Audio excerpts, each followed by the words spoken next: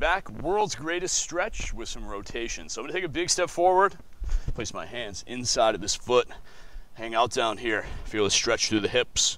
The hand that's nearest to my foot, open up towards the sky, feel a stretch in the T-spine, and bring it right back.